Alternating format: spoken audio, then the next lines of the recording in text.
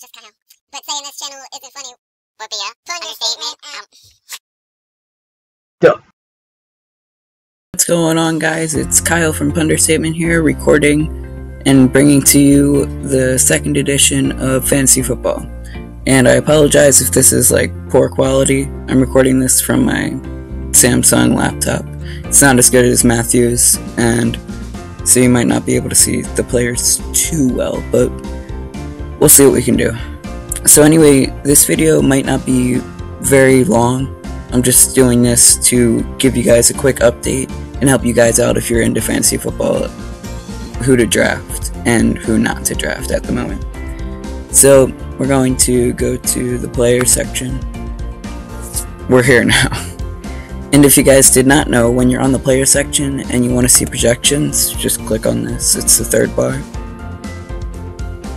So we're going to let that load up as well. Here we go.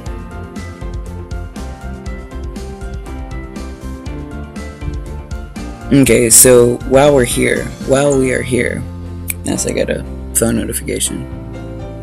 While we're here, um, this news just came in today.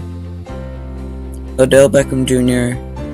Um, apparently injured his lower leg in practice, so you may want to watch out for that. By the way, guys, this will basically just be an injury and off-season news kind of thing. But first things first, well, he's on the screen, Odell Beckham Jr. here. Let's see if it pops up in news. Yeah. Okay, so the most recent news updating a previous report after it said Beckham was forced to leave practice early after injuring his ankle. Yeah, lower leg, something. But updating previous report, Beckham um, was cleated and cut, so he got hurt with another cleat. But he'll be fine. So if you guys are worried about that injury, he's actually going to be okay. Now, the bigger news if you guys have not heard, we have two running backs that are up for question. And that could hurt your team. There. Okay, so first, um, the bigger news, um, Le'Veon Bell had missed a drug test, I believe. I'm gonna check the news card in a second, but I'm pretty sure he missed a um, test. And he's facing a four game suspension, which could be really big for your team if you like mainly focus on your this guy being your best guy.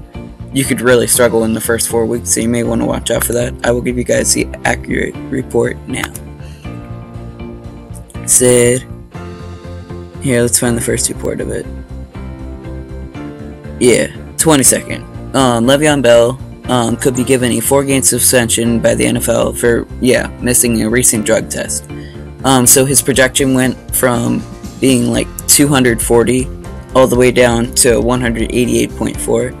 Once again, this is by projection, not like what's actually going to happen, because you never know what gonna, what's going to happen. It's fantasy football, and everything changes every year. And the other running back news is Ezekiel Elliott. I'm just gonna pop up the news first time. Um, there's an investigation that he was in, involved with a domestic domestic violence allegation. If I said that right at all. If I didn't, let me know. But this could be a serious problem because, number one, that's just a problem, especially because he's a rookie because if you can't trust him, then you never know. He might end up in jail. Who knows? If we have another Ray Rice event, that wouldn't be good for him, especially because he hasn't even played his first game yet. So it's just it's just a guy to look out for. That makes um, Todd Gurley, not Adrian Peterson, the highest projected running back. Which is pretty cool because I had him last year and I might want to trade for him. And Jamaal Charles is out. I didn't even hear about that. Does that just mean is no, he's just on the training camp pup list. Yeah, the preseason pup list.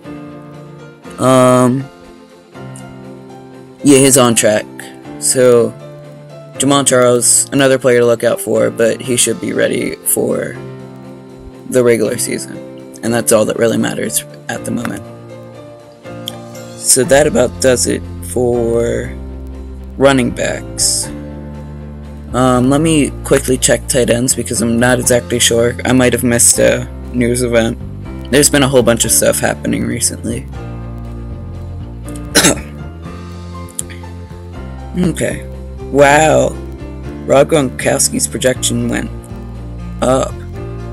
Yeah, they change the projections every once in a while, and and most times they're actually right. Um.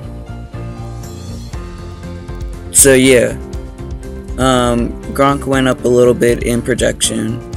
I have Jordan Reed. He stayed the same, if not went up.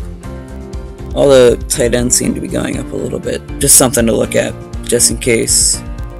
And if anybody in this league is looking at this video, you may want to check out these um, tight ends because there's a lot of ownerships with people like Kyle Rudolph. Um, Matthew could get a way better player if he, um, he looks at it. I might pick up Gary Barnidge if I want. Nah, but I'll probably keep Delanie Walker, and I don't want to have three tight ends on a team. Oh, and by the way, if you're not a Ravens fan like I am, you're not gonna know this news at all.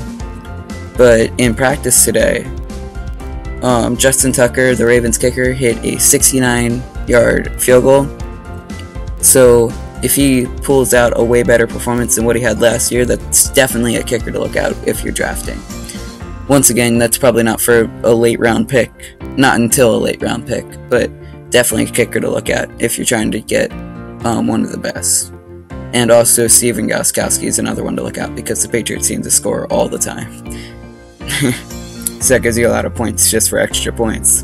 But Anyway, guys, as long as there's nothing to check up on in the quarterback section, because once again, I try to keep myself updated as possible with um, football news so that I can update you guys with quarterback and all the fantasy football news for that matter. I was just looking at quarterback and it trained my mind. But, um, also leave any suggestions for how we can make these videos better. This is only the second one, so just let us know because we're trying to make these videos as most entertaining as possible and most helpful as possible, so just let us know. But anyway guys, that about does it for this video. We, not we, because it's just me. I hope you guys enjoyed. If you did, leave a like because it really helps, and because, duh, if you liked it then you should like it, because that would make sense. And don't forget to subscribe for more daily content, and we will see you guys in the next video.